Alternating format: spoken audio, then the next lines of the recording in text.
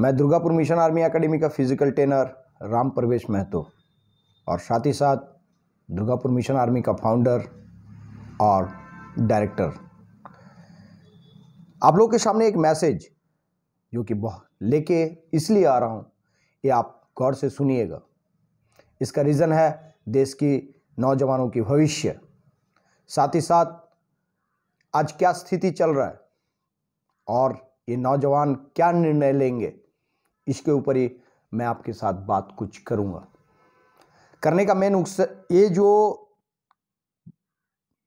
Topic है, इस topic के ऊपर कौन सी टॉपिक के ऊपर बात मैं कर रहा हूँ यह है आपकी जंतर मंतर पे चलने वाला जो कैंपेनिंग है, जो कि काफ़ी दिनों से, एक साल नहीं, दो साल कंटिन्यूसली आर्मी एयरफोर्स नेवी की जो बहाली होता है, जो रिक्रूटिंग होती है, उस रिक्रूटमेंट में किसी भी तरह से गवर्नमेंट रिक्रूटमेंट नहीं कर रहा अदरवाइज़ यदि कर भी रहा है यूएचक्यू कोटा, जो कि रिलेशन की भर्ती, इसमें भी जिनका एग्ज़ाम हो चुका है मतलब जिसका ग्राउंड टेस्ट हो चुका है, मेडिकल कंप्लीट है, उनका भी कई सेंटरों में अभी तक एग्जामिनेशन नहीं हो रहा है।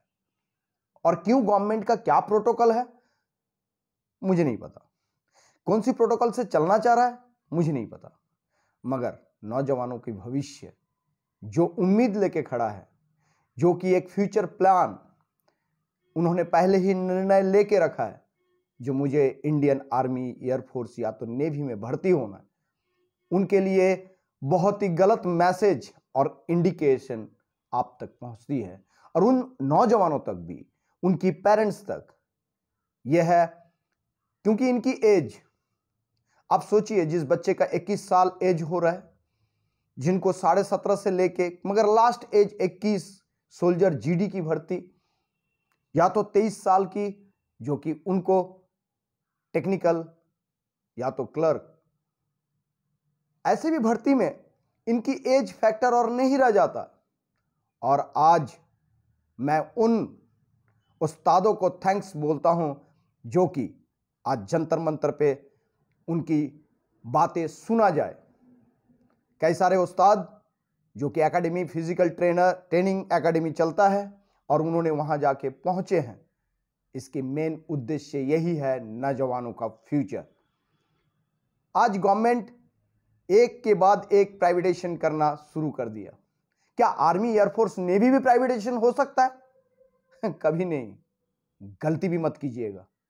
क्योंकि आज जवानों का जो ख्वाब है मतलब उनकी आशा, आकांक्षा, जो जॉब कर रहे हैं, उनको भी बहुत तकलीफ़ से गुजरना पड़ रहा है। क्योंकि आज की डेट में मैं भी एक भूतपूर्व सैनिक हूँ। आज उस रेजिमेंट या तो पलटनों की हालत ऐसी है, जो कि एक आदमी दस दस चार्ज लेके उस ड्यूटी को निभाते हैं। बहुत कठिन सिचुएशन है। रेजिमेंट जब मूव होती है, वहाँ उनकी मैन पावर स्ट्रेंथ नहीं होती। जब रेजिमेंट एक्सरसाइज में जाते हैं, तब उनके पास मैन पावर स्ट्रेंथ नहीं है। कंटिन्यूसली दो साल से कोई रिक्रूटमेंट नहीं है। आज ट्रेनिंग सेंटर, आज खंडर होके बैठा हुआ है। गवर्नमेंट सिर्फ़ देख रहा है, जो मुझे क्या। कोविड एक बहाना है। और मैं हकीकत बता रहा हूँ, ये कोविड बहाना छोड़ दीजिए। यदि कोविड से आप लड़ रहे हैं, यदि गवर्नमेंट की प्रोटोकॉल हर कोई, देश की हर नागरिक यदि उनके ऊपर निगाह दे रहा है, उन सिस्टम को, क्या आपको यह नहीं पता? आपको बहुत इंपॉर्टेंस है आपकी वोट के। आपको हर जगह, क्योंकि आपको विधायक चाहिए। आपको स्टेट को वोट के द्वारा आप निर्धारित करेंगे।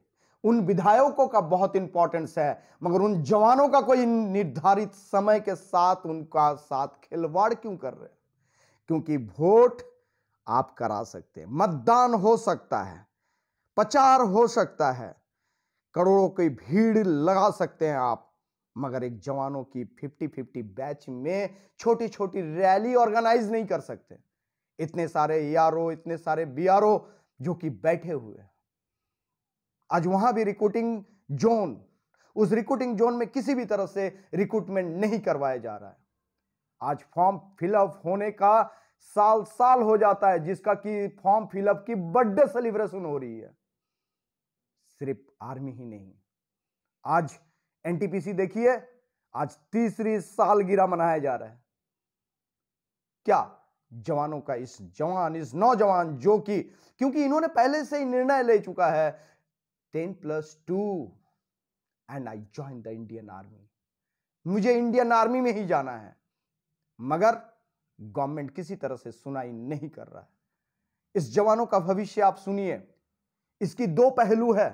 एक पहलू जो बच्चे का एज खत्म हो जाती है, और जो कि बहुत डिसीज़न मेकिंग के साथ था, और सही निर्णय लेके रखा था, वो निर्णय उनकी वहाँ फेलियर होती है। और उन नौजवानों के पास वो नहीं रह जाता जो कि नया उमंग से नया ये से उभरे, क्योंकि उनकी एज खत्म हो चुकी होती है।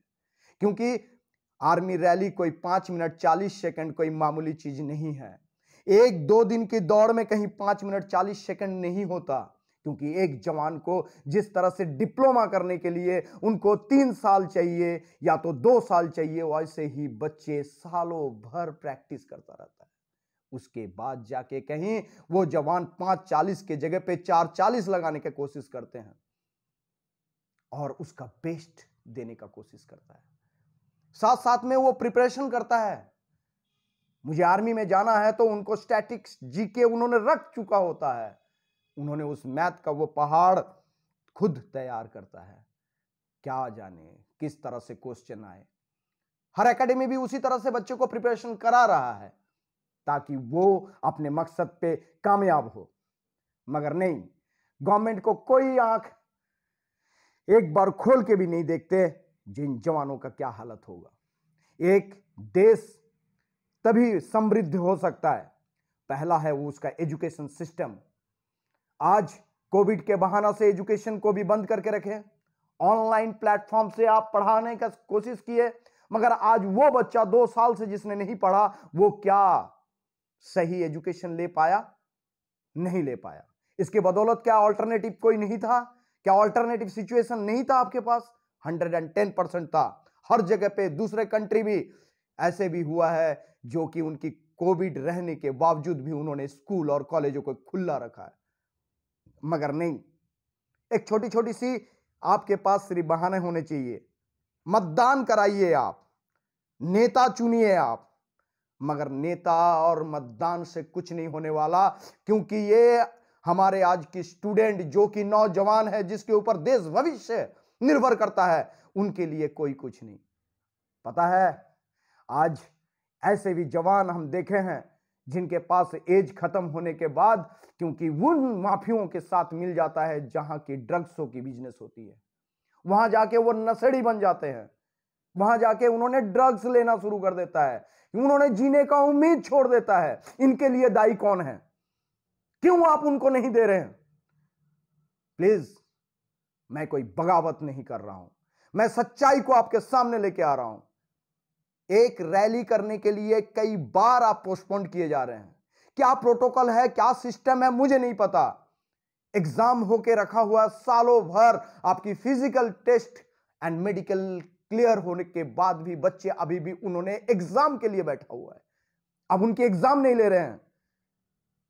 परिस्थिति बहुत नाजुक है। आज देख रहे हैं जो भारतवर्ष की परिस्थिति के साथ, देख मैं मानता हूँ, आज अर्थनैतिक व्यवस्था भी उतना समृद्ध नहीं है। मगर यदि दूसरे देश यदि हमारे ऊपर अटैक करे, क्या हम उतने ही मैन पावर स्ट्रेंथ के ऊपर एक रेजिमेंट या तो पलटन मूव कर सकता है? नहीं कर सकता। लड़ाई नहीं लड़ सकता। इतने कम मैन पावर से मुझे पता है जो अत्याधुनिक अस्त्र और शस्त्र से लड़ा जाता है, मगर उस अत्याधुनिक अस्त्र और शस्त्र को चलाने के लिए भी मैन पावर की ज़रूरी होती है। आज मैं भी भूतपूर्व सैनिक होने के नाते मेरे साथ भी आज बातचीत होते रहते हैं मेरे उन पुरानों दोस्तों के साथ, यारों के साथ। उन्होंने बोलता है, जो बहुत बुरी सिचुएशन से गुजर रहे हैं। महतो जी, बहुत बुरी सिचुएशन है। आज मेरे कंधे में स्टार तो लगा, मगर स्टार लगने के बाद भी मुझे ऐसे ऐसे काम करना पड़ रहा है जो कि जवानों का ही काम मुझे करना पड़ रहा है। क्यों? एक हवलदार जो कि उनकी पलटन की हीरो होते हैं, बाप होते हैं पलटन की, वो भी आज ड्यूटी देते हैं जाके। क्यों? क्योंकि ड्यूटी देके आने के बाद भी उनको आरएचएम और बीएचएम की भी ड्यूटी करना पड़ रहा है। मैं ऐसे इसलिए बता रहा हूँ क्योंकि समय बहुत गलत पड़ी से चिप पहुँच रहा है। आप जवानों का, इस नौजवानों को आप रोकिए मत, क्योंकि पाँच मिनट चालीस तो आपने समय रखा होगा, मगर उस पाँच मिनट चालीस के लिए इन्होंने एक एक साल डेढ़ डेढ़ साल अपने कड़ी मेहनत कर रहा है। और उसके लिए, और अचानक सा आप उसको पोस्टपोन के ऊपर पोस्टपोन किए जा रहे हैं। आप बताइए उस बच्चे का, उस नौजवान का क्या होगा?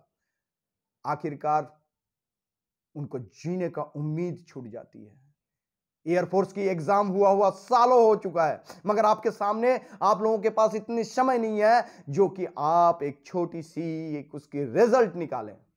रिज़ल्ट निकलने के बाद उनके पास उम्मीद हो, जो फेलियर बच्चे हैं न्यू उमंग से जगह दूसरे ऑल्टरनेटिव सोचे, उनके फ्यूचर के बारे में दूसरा ऑल्टरनेटिव मगर आप उनको दूसरा ऑल्टरनेटिव सोचने इसलिए नहीं दे रहे हैं क्योंकि वो बेकार हो जाए। क्योंकि आ, वो भी आस लगा के बैठा है, कब रिज़ल्ट निकले, आई होप हो जाए, मगर नहीं। बहुत ही गलत। मैं उन भाइयों के साथ, उन उस्तादों के साथ भी हूँ। बेशक मैं जंतर मंतर तक नहीं पहुँच पाया। मैं वेस्ट बंगाल का एक छोटा सा एक एकेडमी चलाता हूँ, जिसका नाम है दुर्गापुर मिशन आर्मी एकेडमी मगर साथ में हूँ, दूर में हूँ तो क्या हो गया? मगर मैं उनके कंधे से कंधे मिला के हूँ। यस सभी कोई सही बोल रहा है और उनके साथ हूँ आज विदेशों में। आज देख रहे हैं यूक्रेन की और रसिया की सिचुएशन। क्या जाने, क्या पता कल वर्ल्ड वॉर के लिए शुरू हो जाए। मगर आपके पास मैन पावर है, आपका लड़ाई के लिए, आप सही मायने में क्या लड़ाई के लिए मज़बूत और उस मैन पावर लेके लड़ सकते हैं? क्यों नहीं इनरोलमेंट कर रहे? कीजिए ना। एक साल में दो इनरोलमेंट होती है, उस जगह पे आप नहीं। और ताजुब की बात तो यह है, जो कि नेवी एमआर नेवी एमआर की फॉर्म निकलता है और परसेंटेज आप जड़ देते हैं। क्या परसेंटेज से उस जवानों का, उस ताकत को रोक देंगे? मानता हूँ कोई बच्चा थोड़ा कम नंबर मिलता है। ठीक है, मगर 85 परसेंट वाला ही नेवी भरेगा। वाह, क्या गवर्नमेंट की रूल है। बैठने दीजिए ना सभी को। मैक्सिमम बच्चे को एपीआर होने दीजिए ना। एग्ज़ाम में एनरोलमेंट होने दीजिए ना। देखिए ना क्या हो रहा है। बच्चे निराश होकर फिरते हैं। क्या एक 85 परसेंट बच्चे नेवी एमआर का नौकरी करेगा। अच्छा जो 75 परसेंट या तो 60 परसेंट या तो 50 परसेंट बच्चे नहीं दे पाएगा। तो उनके लिए क्या रखा है?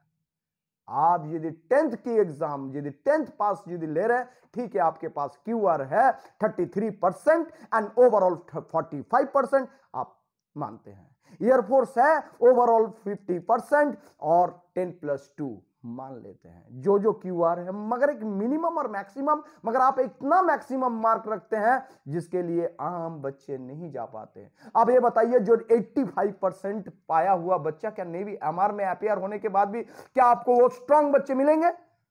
मुझे नहीं पता, क्योंकि लॉजिक जो ज़्यादा पढ़ाकू होता है, वो उतना फ़िज़िकल फिट नहीं होता। सोचिए लॉजिक क्या पता आने वाले समय में, क्योंकि आज आने वाले समय में श्रीलंका की हालत आपने देखे होंगे। क्योंकि चाइना ने उनको ऋण में डुबो के रखा है।